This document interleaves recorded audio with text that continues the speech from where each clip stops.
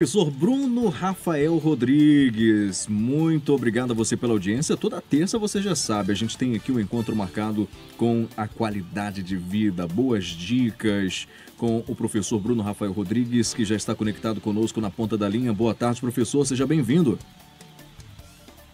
Alex, hoje carreira solo, mas não é porque você está de carreira solo que não tem coluna. É hoje a gente vai conversar sobre um tema bem legal que traz muitas dúvidas ainda aos nossos ouvintes, tanto que mandaram para a gente aí durante essa semana.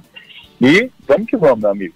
Vamos lá, professor. Uh, o tema é direcionado às grávidas e também a quem tem uma grávida na família. Inclusive, não faz dois meses que a minha esposa é ex-grávida. A gente está com o Álvaro, um bebezinho de um mês e exatamente 16 dias em casa e a gente teve ali alguns cuidados durante a gravidez, algumas caminhadas, nada muito forçado, professor. Mas existem mitos e verdades sobre atividades físicas no período de gestação e não são poucos esses mitos, né, professor? Perfeito, Alex. Inclusive, um desses, desses mitos, né, dessas questões aí, ainda é uma questão muito do passado. Por exemplo, uh, os mais velhos, os mais antigos, vamos por assim, sempre acreditaram que a mulher né, engravidou, está gestante, essa mulher vai precisar ficar em repouso absoluto, né, cuidando exclusivamente da sua gravidez, fazendo todo o processo ali de pré-natal até que o bebê nasça para que ela então retome a vida dela normalmente, vamos por assim.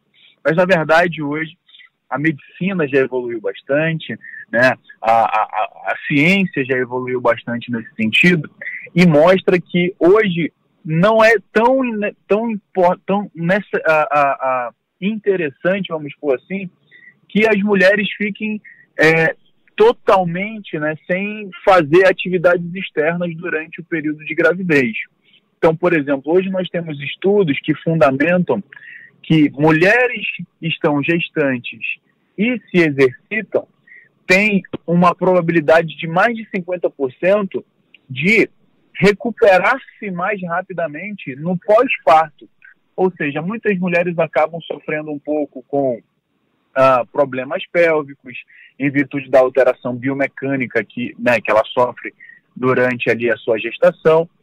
Mas houve também um, uma questão essa semana levantada nas redes sociais, principalmente, meu amigo Alex, que foi assim: uma moça é, descobriu a gravidez, foi até o seu médico, né, o seu, seu, seu obstetra, e o médico falou que ela já podia fazer exercício no primeiro mês, no primeiro trimestre de gestação.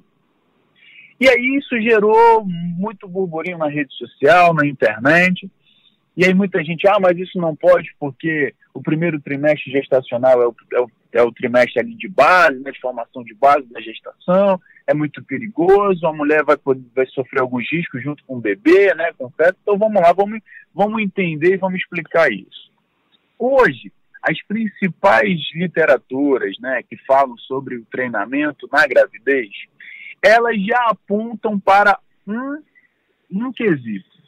Se a mulher né, que descobriu estar gestante, ela já vinha tendo uma vida ativa dentro do exercício físico ali, regular, sistemático, três, quatro, cinco vezes na semana, por pelo menos mais de um ano, essas diretrizes elas já podem ser aprovadas para que as mulheres continuem fazendo os seus exercícios no primeiro trimestre gestacional. Mas isso também deve ser levado em consideração a questão de saúde dela pelo médico. Então a gente precisa entender também que cada caso é um caso, cada médico tem a sua conduta, mas que há sim uma fundamentação para que esse médico tivesse liberado essa gestante já no seu primeiro mês, no seu primeiro trimestre de gestação.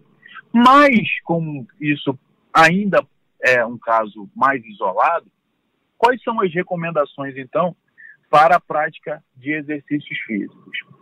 Com a liberação do médico, meu amigo Alex e ouvinte, o interessante seria, se a gestante não fazer atividade física antes da gestação, que ela inicie o seu processo de treinamento a partir do segundo trimestre gestacional, né? a partir ali da 12 segunda, 13 terceira, 14 quarta semana de gestação.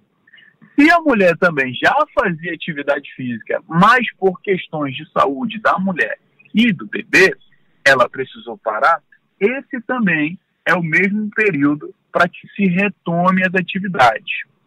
Quais atividades, então, essas mulheres grávidas podem fazer? Dependendo da condição da gravidez, que isso é uma coisa muito importante sempre de frisar, elas podem fazer desde exercícios de baixo impacto, como a caminhada, né, os exercícios aquáticos, até exercícios de maior impacto, os exercícios de força na academia, alguns exercícios funcionais, em alguns casos até mesmo o próprio CrossFit, né, que já vem sendo mais popularizado ali entre algumas mulheres gestantes, mas como a gente sempre diz, cada gravidez, cada mulher responde de uma forma diferente e o acompanhamento com o médico vai ser primordial para que nós, profissionais de educação física, consigamos então prescrever da melhor forma possível para que essa mulher gestante tenha mais saúde durante o seu processo de gestação e esse bebê também nasça bastante bem forte, né, bem saudável. E uma última informação, meu amigo Alex, é que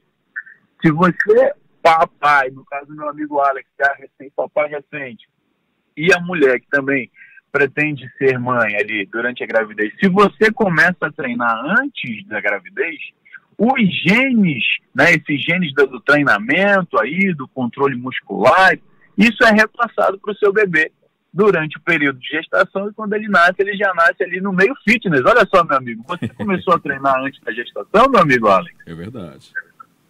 É verdade. E o rapazinho é bem esperto mesmo, professor. Tem um mês e tal, mas é incrível como até a estatura dele é diferente. Tem ali, pô, tem um mês e pouco, mas parece que tem dois e alguns dias. É engraçado isso. É, meu amigo, a, a, a, genética, né, o fruto nunca cai muito longe do pé, né, meu amigo Alex? Professor, de todo caso, é sempre importante ter ali a ajuda de um especialista, né? Seja ele o médico obstetra, a, enfermeira que acompanha ali durante o pré-natal e até mesmo o educador físico credenciado e preparado ali para prestar todo o auxílio para a gravidinha, né, professor? Perfeito, meu amigo. Também a gente pode incluir aí nesse, nesse grupo multiprofissional o fisioterapeuta, principalmente ou a fisioterapeuta pélvico, e também o nutricionista, porque a grávida também precisa fazer uma, uma parte nutricional ali também um pouco mais específica, principalmente relacionada à parte de vitaminas ah, e, e, minerais, que acaba perdendo um pouquinho, né, e necessitando por causa do bebê. Então é toda uma equipe multiprofissional médicos, enfermeiros, profissionais de educação física, fisioterapeutas, nutricionistas, acompanhando essa gestante para que esse bebê ou esses bebês, né, dependendo da gestação, uhum. nasçam bem fortes, mas a atividade física sempre vai ser um bom uh, parâmetro para que essa mulher também, durante a gestação, tenha uma gestação mais saudável, mas é sempre, saber, sempre importante saber a indicação médica. Professor, então por hoje está pago até semana que vem? Se Deus quiser, hoje está pago até semana que vem. Bons treinos a todos. Forte abraço, professor. Então. Hoje está pago. Com Bruno Rafael.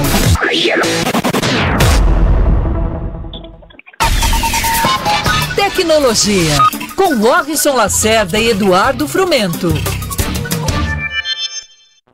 Coluna de tecnologia que você acompanha acessando